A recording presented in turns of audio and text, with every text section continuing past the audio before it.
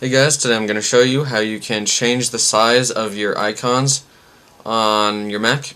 So, the first thing you want to do is just right click anywhere on the desktop and there's a option called show view options and it comes up with a little menu here. Um, the first one is icon size so you can just grab the slider and make it really huge and this is basically what it does. It makes your icons gigantic.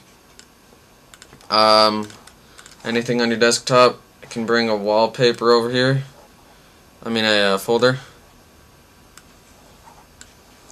And you can also do a bunch of different stuff. You can make the grid spacing small or all the way. Um, you can change the text.